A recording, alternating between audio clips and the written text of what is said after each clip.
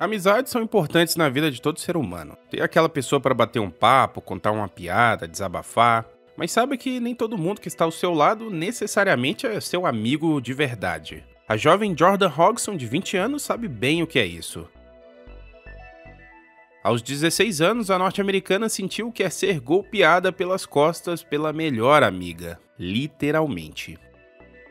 O ano era 2018. Jordan estava no ensino médio na época. Ela tinha saído com um grupo de amigos para tomar um banho em um rio.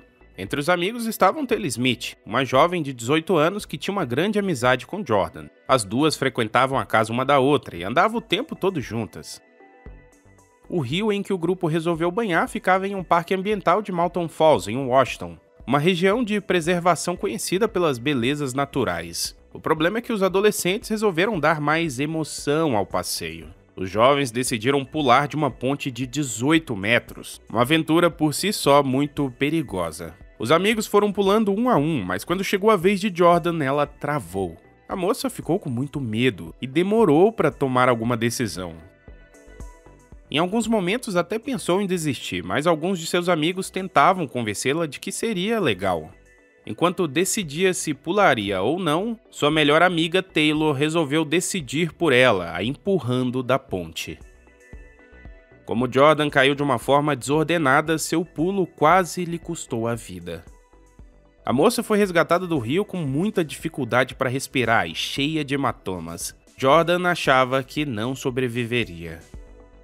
A emergência a resgatou e no hospital foi constatado que ela fraturou seis costelas, teve um dos pulmões perfurado, sofreu escoriações no esôfago e ferimentos na traqueia. O quadro ainda incluiu o pneumotórax, que é quando o ar que deveria estar dentro do pulmão começa a vazar para a cavidade torácica. Jordan precisou realizar algumas cirurgias e recebeu alta dois dias depois de internada. A cirurgiã de trauma, doutora Mary Sarf, disse que a jovem teve muita sorte de estar viva após a queda. Segundo a especialista, cair de uma altura de 18 metros daquela forma é como cair no concreto. Mais da metade das pessoas não sobreviveria a esse tipo de trauma. Mesmo quem sobrevive pode quebrar o pescoço e ficar tetraplégico, o que não ocorreu com a jovem. Durante o salto forçado de Jordan, um dos amigos da garota filmou a ação. O vídeo viralizou na internet, causou revolta no mundo inteiro. Ready?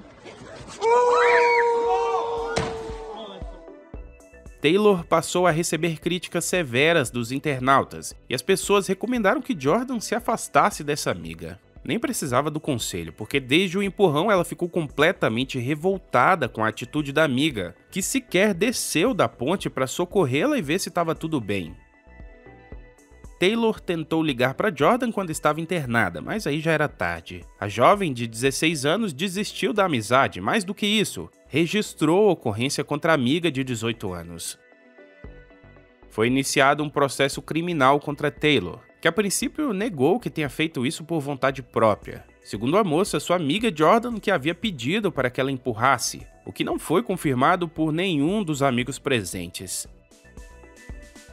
Em março de 2019, ocorreu o julgamento de Taylor Smith. Durante seu depoimento, a jovem resolveu confessar que havia empurrado a amiga por sua própria vontade. Ao assumir a culpa, Taylor evitou uma condenação mais severa, a promotoria chegou a propor um acordo para que a jovem não precisasse ser presa, o que não agradou a família de Jordan. A mãe da vítima então sugeriu ao juiz do caso, Dr. Darwin J. Zimmerman, que impusesse uma pena de dois dias, que foi justamente o tempo em que sua filha passou internada recuperando dos ferimentos. O juiz acatou a sugestão de pena didática e, além disso, multou Taylor em 300 dólares, determinou o cumprimento de 38 dias de trabalhos comunitários e proibiu Taylor de entrar em contato com Jordan por dois anos. Taylor pediu desculpas a Jordan e sua família e disse que está crescendo como pessoa. Disse também que não para de pensar na amiga e que tem pesadelos com aquele dia. Já Jordan disse em entrevista que conhecia muito bem a amiga e sabia que ela não estava arrependida de verdade, que só falou em arrependimento por medo de receber uma pena maior.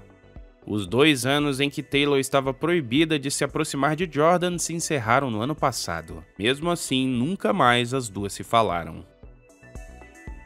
Jordan terminou o ensino médio em 2021 e está tentando ingressar em alguma universidade. Taylor atualmente tem 22 anos, assumiu um relacionamento homoafetivo e trabalha em um hotel para cães.